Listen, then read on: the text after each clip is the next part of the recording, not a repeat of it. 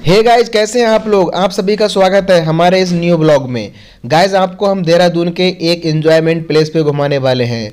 तो आप इस वीडियो में देख सकते हैं, यहाँ पर बहुत सारे लोग नहा रहे हैं। यहाँ पर बहुत सारे झरना है तो आप यहाँ पर पहाड़ भी देख सकते हैं। तरह तरह के यहाँ पर आपको पहाड़ देखने को मिलेंगे और ये बहुत ही सो ब्यूटीफुल प्लेस है इंजॉय करने के लिए। यहाँ पर बहुत बहुत दूर से लोग इंजॉय करने के लिए आते हैं। अगर आप भी गर्मियों में इंजॉय करना चाहते हैं तो आप यहाँ पर आ सकते हैं। ये उत्तराखंड की राजधानी देहरादून में सैदारा नाम से प्रसिद्ध है और आप इधर देख सकते हैं, ये एक गुफा है। इसे द्रोणाचार्य गुफा बोलते हैं। जब आप इसके अंदर जाएँगे तो आपको ऊपर से पानी गिरता हुआ दिखाई देगा, क्योंकि इस जो गुफा है, इसमें हमेशा पानी टपकता है। तो ये हमारे सारे फ्रेंड्स खड़े हुए हैं, क्योंकि ये भी यहाँ पर एंजॉय ले रहे हैं हमारे साथ।